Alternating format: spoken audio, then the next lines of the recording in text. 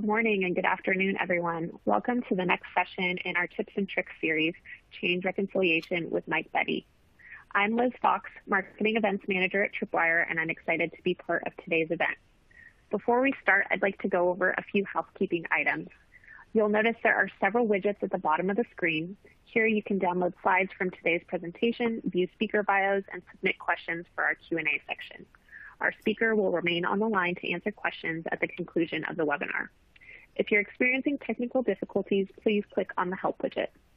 We'll also be sending out a follow-up email with a link to the on-demand webcast and the slides at the conclusion of today's event. So now let's get on with the presentation. Today's speaker, Mike Betti, is a sales system engineer supporting Tripwire's utility and industrial customers He's been working in the security field for over 20 years and believes that security products by themselves do not protect a company. You need good people and processes in place and a way to validate those processes, along with a defense in-depth approach. So now, without further delay, I will turn it over to Mike. Thank you, Liz. And yeah, today we're doing tips and tricks on Tripwire Enterprise, of course, and I'm going into a lot of change reconciliation tactics I'm been with Tripwire, like she said, for more than 12 years, but I've been doing security a lot longer than that. I was a software engineer working in the area of DoD um, for a number of years before moving into security and writing security products mm, before I moved into the SE role about 15 years ago. So um, today we're doing tips and tricks. Hopefully everybody can see my slides. Um, our agenda for today is we're going to start with files versus command output capture rules. That way, um, those are the two main ways of getting information in Tripwire Enterprise. And then we can review those changes for easier ways to do promotion um, and define what that is. And then we can build some actions, an area that a lot of people don't seem to take advantage of in Tripwire Enterprise, but that's what we're going to uh, learn how to do today in case you haven't been using them. A few definitions to get started. I know there's going to be people on here that are very experienced with Tripwire Enterprise that know a lot of this, uh, but there will also be a number of people on here who may be a bit new to Tripwire Enterprise. So we'll start with the element and the basic elements of Tripwire Enterprise it's a unit of change. Essentially, it could be a file, a registry entry, RSOP, but it could be something from Active Directory or a database. And with some of the new methods Tripwire has in TE Commander, one of our add-on command line tools, you can even pull things from any kind of object and store it as an element in Tripwire Enterprise. And the first element generally is a baseline element. That's what it looks like now. So what you want to find out is what it looks like tomorrow or the next day or, you know, essentially today. Um, when we check for changes again and something is different from the baseline for that element, that creates a version. And you can have multiple versions of the same element. And once you've reviewed that version, you can make it the baseline element, and the changes going forward will be compared to that version. So we're always comparing a version to the baseline, and that's how we see differences. Essentially, Tripwire is a very big baselining engine that makes the process of baselining a lot easier. And baselining, as you know from many security classes you've had, is really important to knowing what's going on in your environment. And then, of course, promotion is taking that version and making it the new baseline, but it's slightly more than that in Tripwire. It's also marking that change as authorized. And there are ways to promote something to the baseline without marking it authorized. So you should always, when you're doing your promotions, make sure there's a a, an authorization ID added. Um, and then there's promotion templates you can use. I'm not going to really cover those today, but they do make when you're doing manual promotions a lot easier. Another piece of Tripwire that's talked about a lot is the event generator. It's a piece of the Tripwire agent that watches writes to the file system. And it's implemented in different ways for different operating systems, of course. But the main piece of it is when we're when you're writing to the file system and it's an object that we're monitoring, a registry or a file, um, it grabs who made the change, the application that made the change, and the timestamp. So essentially, when something is writing to the file system, the file system knows what process is doing that write, and we can see who is running that process. So it generally tracks back to the process to grab who made the change and then creates an audit event. And that's what we call audit events in Tripwire. So you'll see event generator and audit events used kind of interchangeably in Tripwire. That can be confusing for some people, but it's really the same thing in the product. When we're talking about the event generator, it generates audit events. Those audit events can be sent in real time, or you can hold them up until you run a check. So that's the difference between real time and just grabbing audit events. Um, you can make those audit events real time, but they don't have to be. So um, the next piece of this is there are different rule types. And in Tripwire Enterprise, there's, you know, the first one that shows up when you're creating a rule is the command output capture rule. And command output capture rules are a way to run a command, and I'm going to give examples of this coming up, um, and capture the output of that command. We do still show the i5OS rules, but we don't have an i5 OS uh, agent anymore. So those are really uh, obsolete, and there's nothing in current versions of Tripwire you can use them with. The log transfer rule is still there, and it works with Tripwire Log Center. So if you're a Tripwire Log Center customer, you can set up a log transfer rule to find a log on a system and on a periodic basis send that log to Tripwire Log Center for it to ingest the logs. The Unix file system rule is for Unix systems, Linux, HPUX, Solaris, um, any of those operating systems that you're monitoring with a Tripwire agent can use a Unix file system rule. And then, of course, there's Windows file system rule and registry rules and RSOP rules. Each of those are for baselining information about various parts of Windows. The file system rules and the registry rules can be run in real time or create events, audit events. So the event generator works with the Unix file system rule, the Windows file system rule, and the Windows registry rule. Only those three. So nothing that you use from a command output capture rule can be done in real time. And I mean, the reason for that is we're watching writes to the file system. If we're running a command, nothing is writing to the file system or making a change that way. We're just capturing the output of a command. So there's no way to do that in real time. You do command output capture rules from tasks. So file system rules are added to the event generator for monitoring. If you're using the Axon agent, there is a task that will push agent uh, rule updates down to the Axon agents. And it's set by default to run every 24 hours, but I usually go in and change the task for Axon agents to like every 15 or 20 minutes. Um, it doesn't hurt much performance wise to do that. Yet, if you're making changes to your rules, you want to make sure they get pushed down to your Axon agents in a timely manner.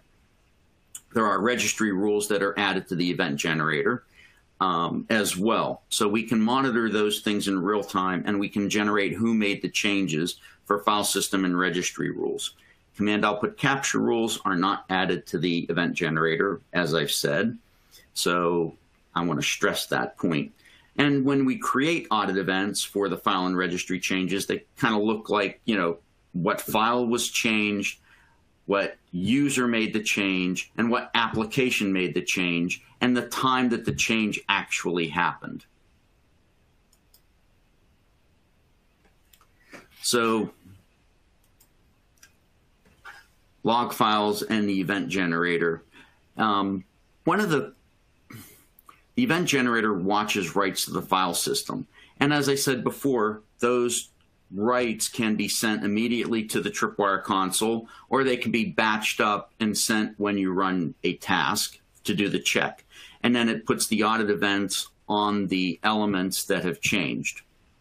So when you want to monitor log files, since log files are changing all the time, and if you put a log file into a file system rule, it's going to generate a lot of traffic because every time you write to that log file, it's going to generate an audit event, which will um, be stored in the Tripwire agent on that system or sent back to the to the console.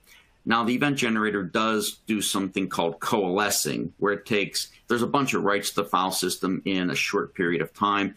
It combines all of those together from the same process. That way, it's not every couple of nanoseconds sending something to your Tripwire console or to the agent. Um, but that coalesces, you know, in the realm of seconds. So um, if you're writing to that log file a lot, the event generator can start adding load to your system.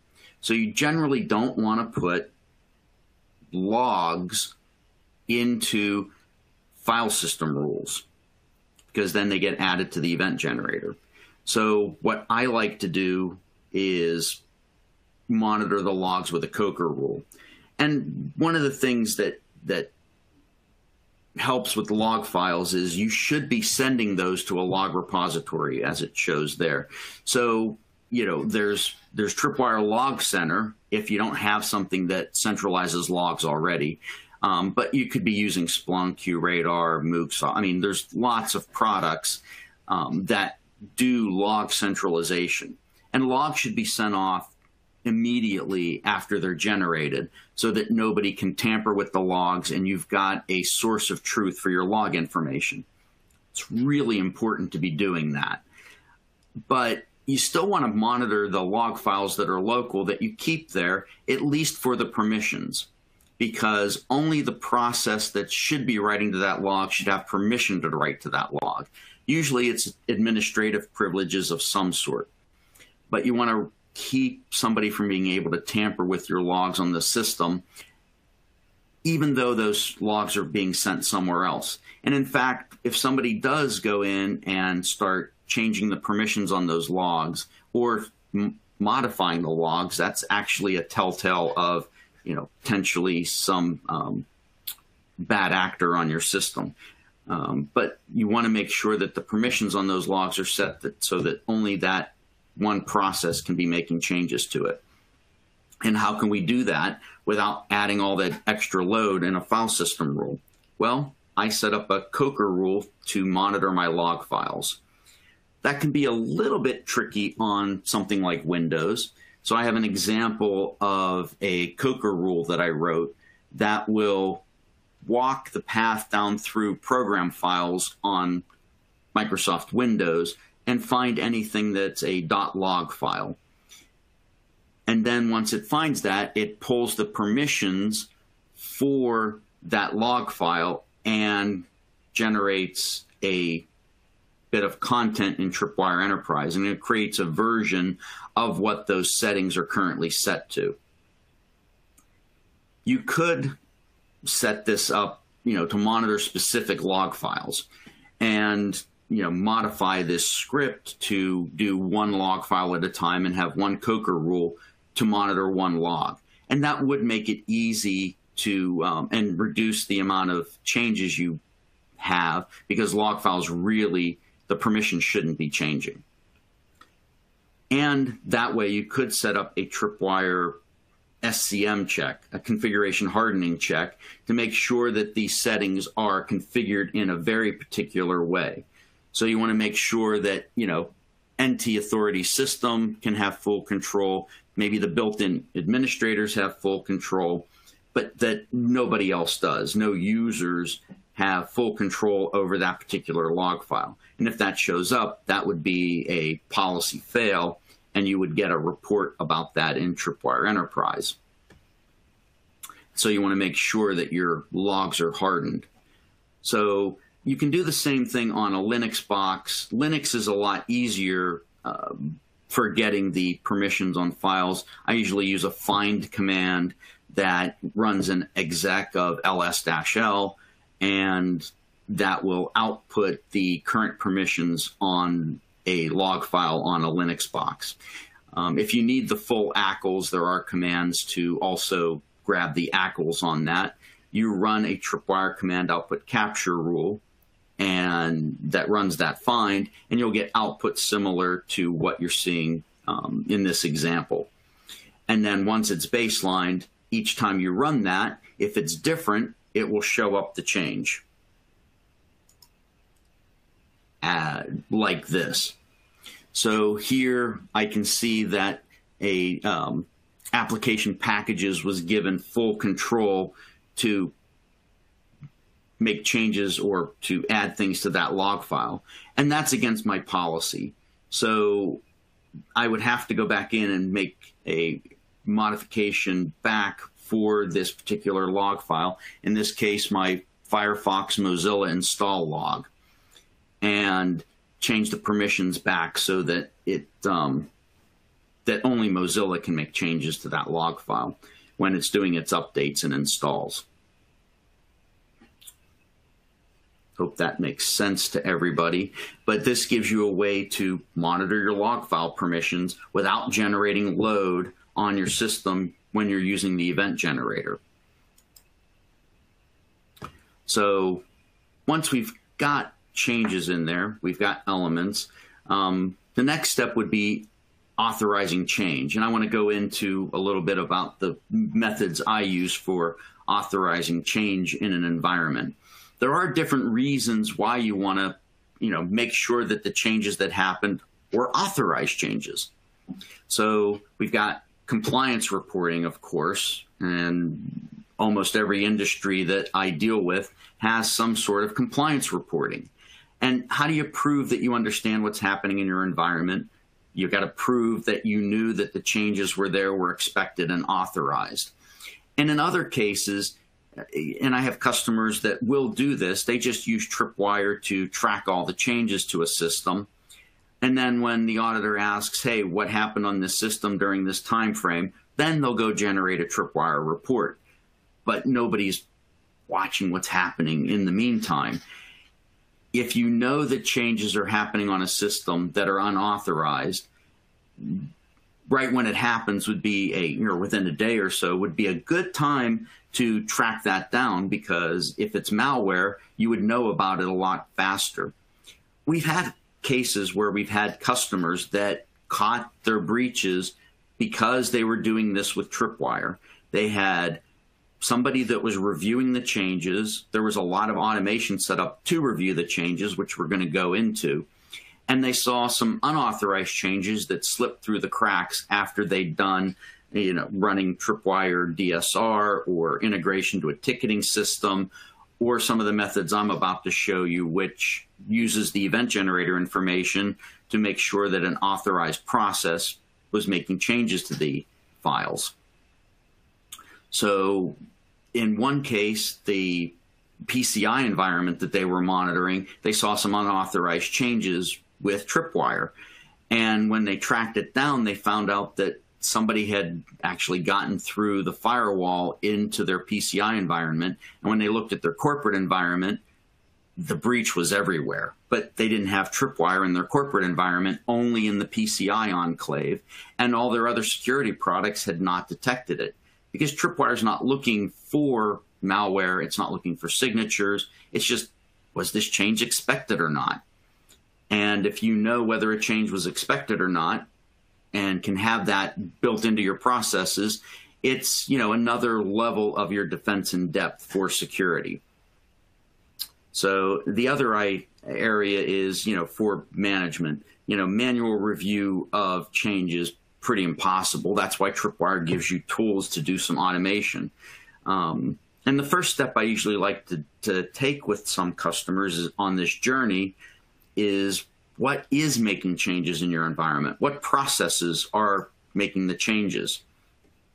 So I'll set up an audit event review. So Tripwire has a system log report in the reports area. And what I'll do is go in and set up a system report for audit events and then look for any audit events that have an application um, associated with them.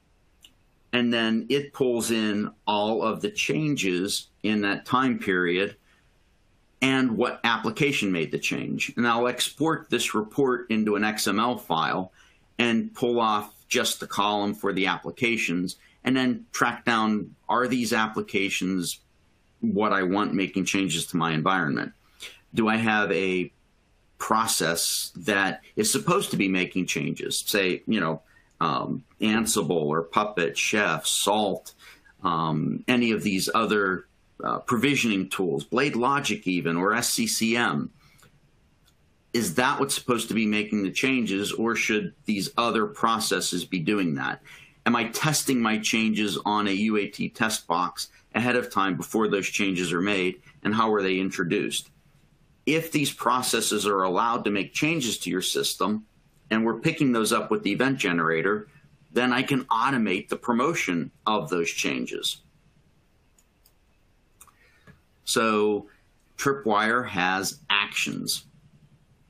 And these actions allow you to take a look at the changes as they come in, or if you add your actions to a task after your checks have finished running, you want Tripwire to automatically review your changes, or at least as much as possible. So actions are a little bit more intricate, but they are powerful, um, as I say here. And you want to create these conditional actions are essentially your if statement. If somebody I know made the change, you know, who made the change, what application made the change, if SCCM made the change or um, Ansible made the change, I can then promote the change based on that. So the conditional actions are your, you know, if. If there was a certain tag on the asset, um, and the element name was a certain element, then go ahead and promote it. This is a normal change that I'm expecting, for instance. Um, you can combine these actions. They are nestable. So it could be like multiple if statements. If the files are in my Mozilla directory and those files were updated by um, a Mozilla Update application running as administrator. Then, and then we can get to the then portion of the actions, we have conditional responses. So these are not if statements, these are the actions that allow you to do something. So if it's this element name and the um, action has detected that it was a particular process that made the change, then email a report to somebody or run a script to um, change something back or to um, send it to some other type of system that we might not have a direct integration for that doesn't work with, say, syslogs. Um, you can approve the change. So there are ways to tell it, hey, approve this change. You know, promote this specific version because it was made by a particular application running as a particular user. You could run a full report. Um, tell it to run another check. So I've set up a task that after everything runs, if I see certain changes, I can run another task to go check a different um, set of rules. So one task can be kicked off by another. Um, you can mark changes as critical. So I can set the severities of particular changes up. If I see a certain change that's made by a that's not made by the process I'm expecting, then raise the level of that to a higher severity, and then I can have Tripwire reports that only show changes above a certain severity so that it can point those out to you. You can send SNMP traps, you can send syslogs, or retag an asset. Um, Tripwire has an integration with IP360 that uses that idea so that if we see a vulnerability that's you know a, a very risky high level vulnerability, say or you know a remote execution attack, we can actually tag the asset as having um, known vulnerabilities, so you can drop that asset into a particular report. So conditional responses give you a lot of options. What I usually tell people is, you know, work with your SE and or Tripwire professional services engagement manager. If you know what kind of things you want to look for and what workflow you want, but aren't sure how to get there, your SEs can definitely help you with that, um, give you advice and and help you come up with ways to um, use the Tripwire actions to make uh, all your review a lot easier. I know I work with a lot of my customers on that and have set up a number of um, actions to do some quick things. So the one I like to, to use a lot, and I've mentioned a few times on here, is the conditional action. And it's looking at the audit trail. And this is essentially the event generator. When you set up your event generator and turn it on in Tripwire, um, and you know that's another area that we could go into is how to set up the event generator. Um, but once you have it and you're generating those events, you've got who made the change, what application made the change, you've got when that change was made, and we have an action that works with that audit trail and it can pull off the message information and show, you know, hey, um, if Windows Defender um, application made an update to my Windows Defender settings, and it was running as NT Authority system, which is the only thing it should be running as, then mark those changes as approved. So if something else goes in and edits your Windows Defender um, settings, then you would get essentially an alert or these changes wouldn't be promoted and they would be there for um, reporting or manual um, review. And the idea is to automatically promote and and find as many of the changes that are expected as possible so that there's very little to review when you do have to get to a manual review. So I hope that makes sense for everybody. And I will be taking questions at the end. So, um,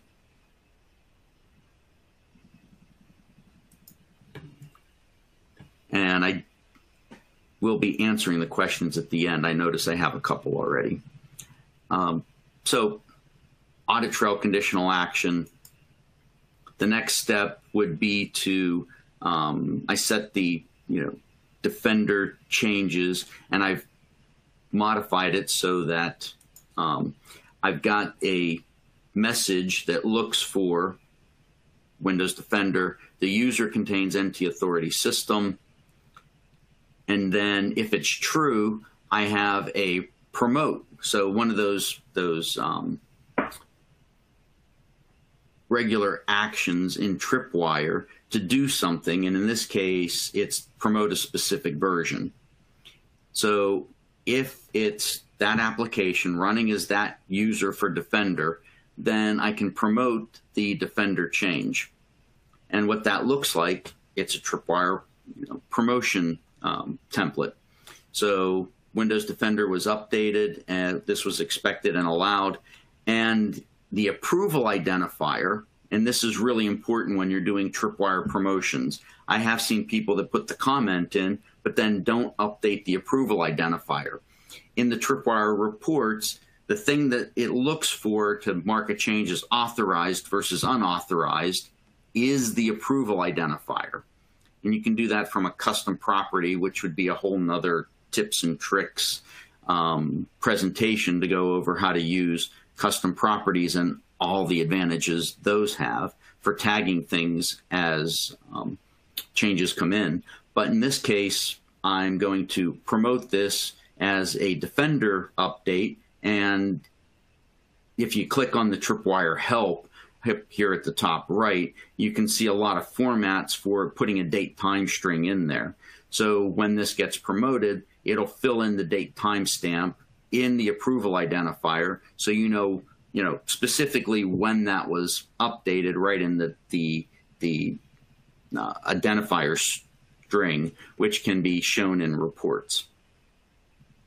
So what I've done here is I've seen changes to Microsoft Defender updates.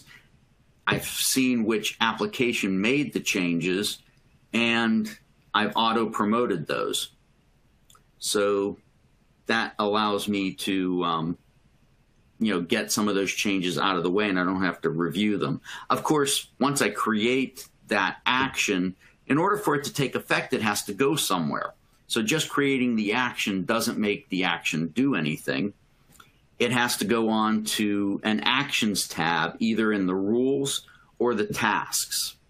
So if you're in a Tripwire rule, you'll notice there's an action tab. And if I'm doing things in real time, it pretty much has to go on the rule because you're not it's not running a task in order for the change to come in. So if I'm tracking changes to the Windows Defender directories in real time, then I'm going to put my action onto the Actions tab of the rule.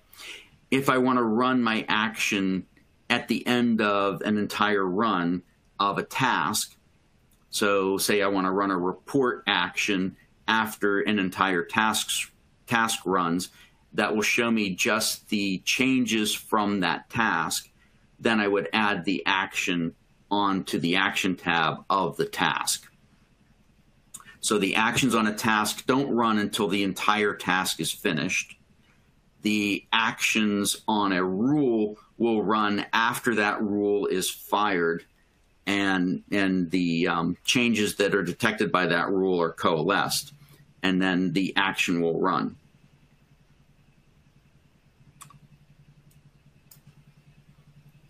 And of course, in this case, what I end up with is auto promotion. So the changes to Windows Defender um, show up in my report, and I'm doing a changed elements with approval ID. So you can see that there's the Defender, the update from the other day, the user was NT Authority System. Uh, I can see it was modified, and in my authorized versus unauthorized report, this would already be marked as authorized. If I were running a report of just unapproved changes, these wouldn't show up in it because they're already approved. And this happens automatically. Tripwire looks at what happened. We know what your process is for updates to Defender, and those are automatically marked as approved. we do give you a lot of other methods of automatic reconciliation. The actions are, are one really good one, and there are a number of other actions you can use um, to do promotions. So, but the common ones are integration to a ticketing system. So if we see that those tickets um, are in an approved state, we can pull those down from your ticketing system and compare them to the changes we detected on particular servers. And if there's a ticket for that change, we can promote that change. Um, you could integrate to some malware analysis system, and we would send the hashes up to that, like a FireEye or something. And if it comes back and says, hey, this is not known malware, you could potentially auto promote it. Um, promoting by match, that's actually using Tripwire actions and a manifest for the changes. So I had a customer that were they they had their own application that they would roll out, and they would um, zip that application up in order to roll it out to all their systems with their provisioning tool. But before they did that, they would um, take the, the, the, the zip content of the names of the files and would drop that in a directory on the Tripwire console. And they set up an automated way to do that. It would unzip it and generate the manifest, drop it in the directory. And then after Tripwire ran the checks and it saw changes um, to that application, it actually did ran an action that did a promote by match and it saw the file was there, pulled the information from the file of what's in that um, manifest, and promoted the changes. So that was a process that they had. They knew that that process was repeatable um, and would do their updates that way. Another case of promote by match is to compare it to the files on a particular system. In one case, a UAT test system. So before they would um, roll out a change to their entire environment, I, I've had actually a number of customers that do this, where they would have a virtual machine, say that has Windows on it, they would patch that one first. Then, when they roll the change out into production, all their production boxes would do a comparison of the file and hash to the same version of Windows that was on a virtual machine. And because those changes were already there and matched at the file and hash level, it would auto promote those changes. So it, it gives you actually a very easy way to ensure that your production boxes match your test system. And that's a very powerful way to do it. And if you've got solid processes for change, um, it's actually very easy to set up. So that's a promote by reference type of tripwire action. And changes by severity. So I talked a short bit ago about um, using an action to change the severity of something based on what we've seen and giving it a higher priority. You can do the same thing for other files where you give it a lower priority. And so I've set up actions to set common changes to a low priority, say below 100, and then just have a process in Tripwire that runs that will go and promote any of the changes that have a severity less than 100. And that's that's a type of business as usual processing but I've got a whole separate presentation just on um, how to set up BAU processing, which are files that you know that change practically every day. You still want to track them, but you don't want, you know that they're supposed to change and you don't want them in your reports. You set up BAU processing. And all of those files can be taken care of.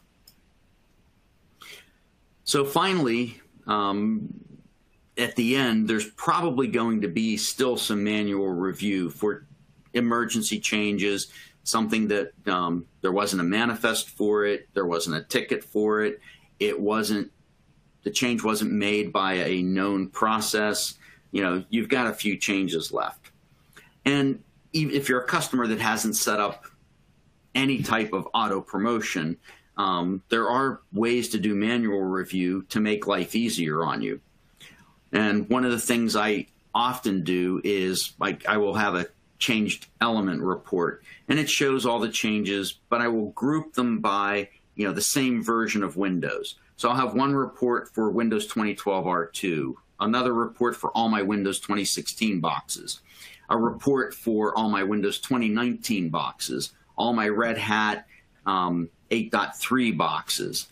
And because all of these operating systems are the same, and I'm running particular, you know, applications on those, um, but as far as operating system changes, if I, you know, then click on my um, elements view, it gives me a view of the all the changes. Well, then I'll click on the element at the top of here, and what that does is it lets me see the file names that were changed across the systems that the files were changed on. What that does is if I see a file was changed across all of my Windows 2012 R2 boxes, odds are that was changed um, by a provisioning tool or some other patch was rolled out, but it's a common change. But if I see something that was only changed on one system and it's a snowflake, and you know say crypt.dll was updated but it was only on one system. That might be a lot more suspicious and now i've got something i need to go and dig into a little bit deeper. I may go to my logs to find out you know why did that change? When did it happen? Um, what caused that that that update to happen to that DLL file. So you start digging into that, but it helps you point out you know what was happening on those systems. Um, you know, if you see there were hot fixes on the box, then you have a pretty good idea that there was a patch rolled out. But you know, generally you're not doing that on just one system. So you might want to look across that, sort by element, and see what's common and what's not common.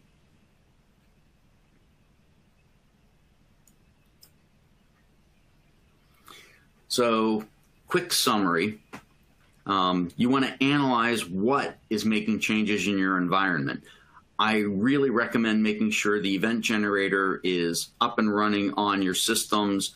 Um, for Windows, it's really easy for Linux, if you're still using the Tripwire Java agents, there's a little bit more management to keep that up and running because, like Red Hat, CentOS, and uh, SUSE will unload third party drivers from the operating system when they do security patches to the kernel.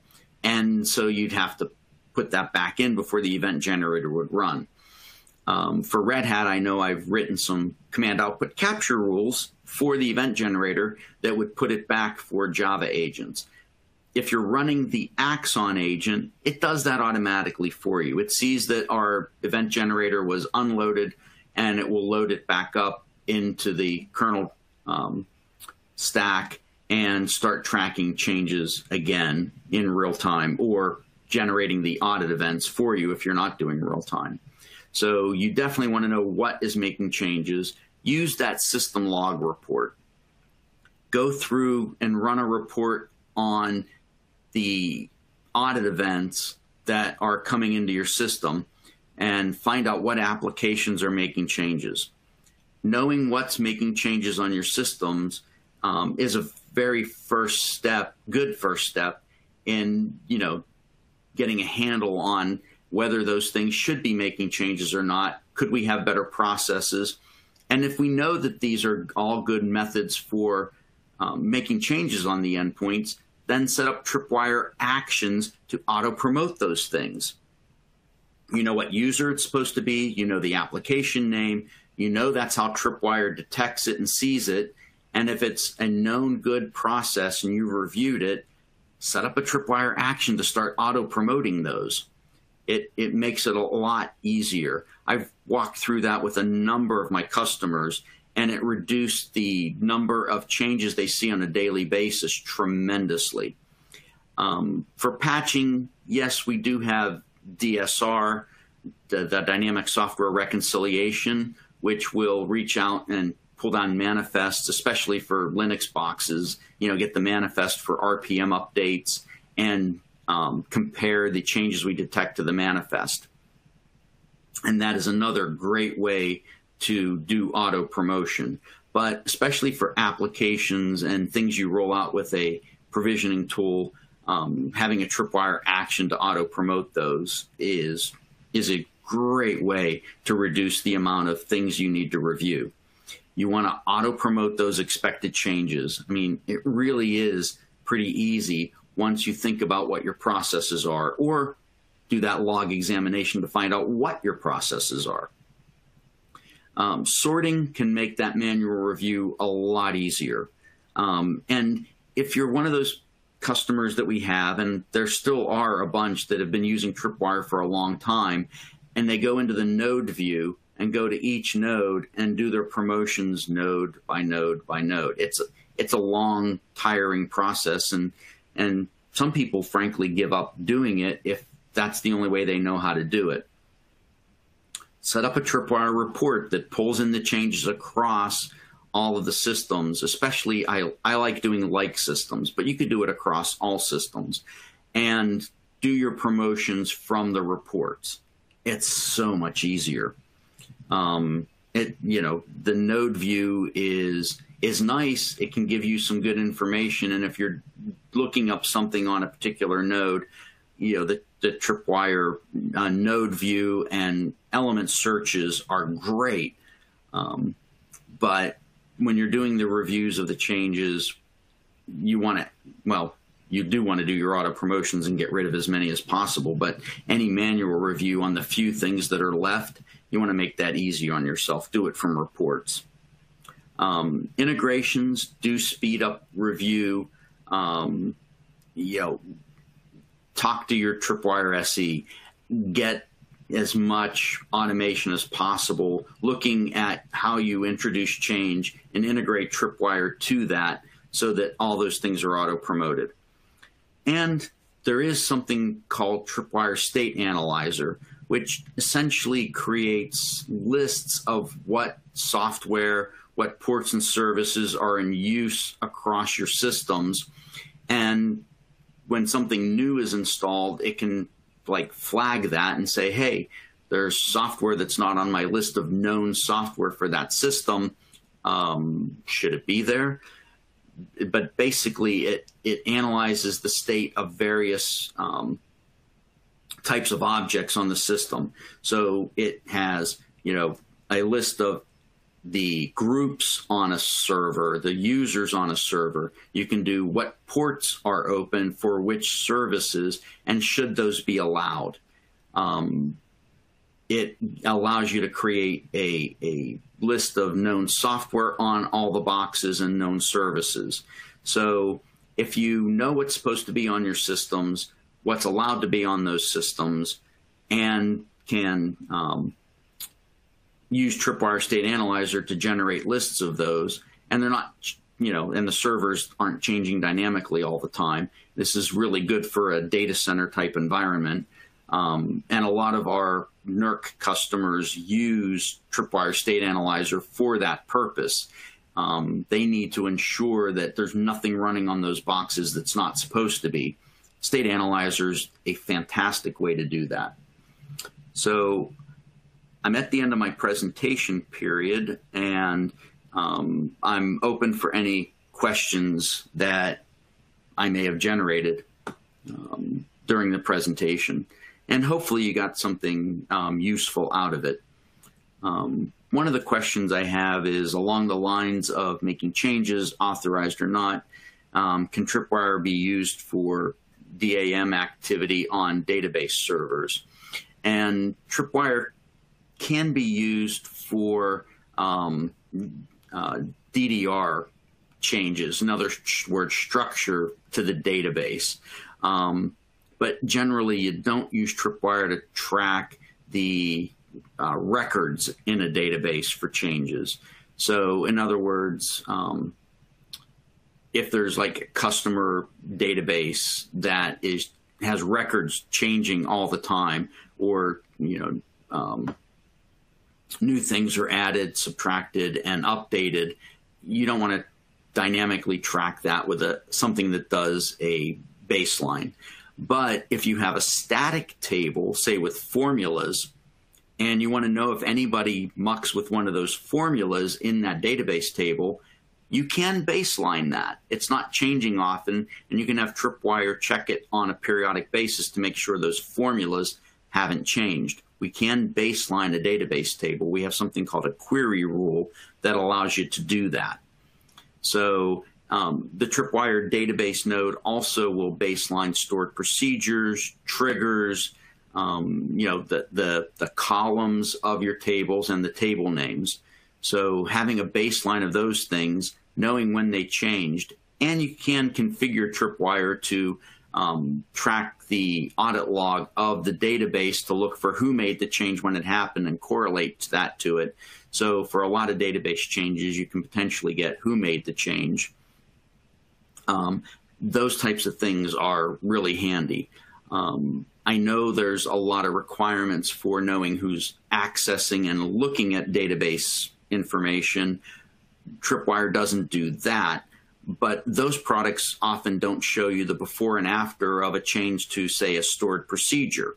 Tripwire does do that, and that can come in, I mean, really handy. I've had a couple of customers where somebody changed the stored procedure it blew up something in their database and you know they were using one of those products that um, track the changes to the database but they just saw that the stored procedure changed they didn't know what it was before the change um, with Tripwire in place, they can actually see the before and after on the stored procedures. And a number of them have put that in place, even though they were using um, another database tracking product for the records and the accesses. They use Tripwire for the structure of the database and knowing what the before and after was so that they could recover from um, bad changes very quickly. Um, any other questions out there?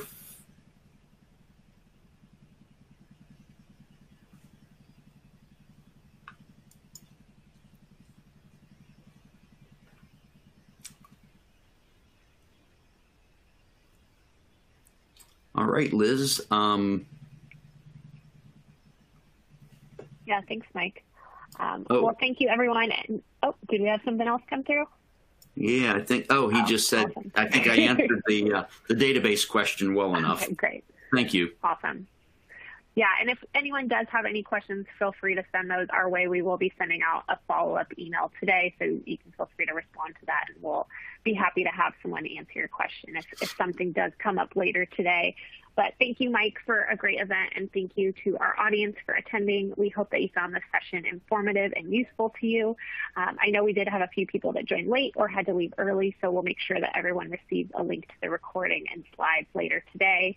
Uh, if you would like proof of attendance, please make sure to respond to that email, and we'll make sure you get a, CPE confirmation letter. Um, so thank you again. We hope you'll join us for our next tips and tricks session. They tend to be at the end of every month, so keep an eye on your email for the next session. Um, but thank you all again and have a great day. Thank you.